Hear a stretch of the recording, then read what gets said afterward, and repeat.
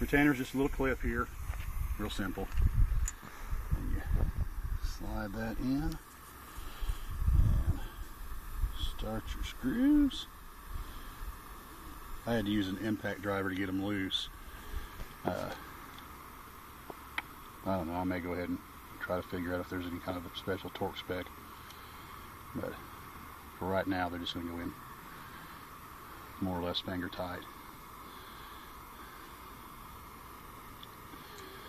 and then we will start with our roller followers here in just a minute and they will go on basically the same that the slider followers came off. They'll just kind of snap on and then you pull them on.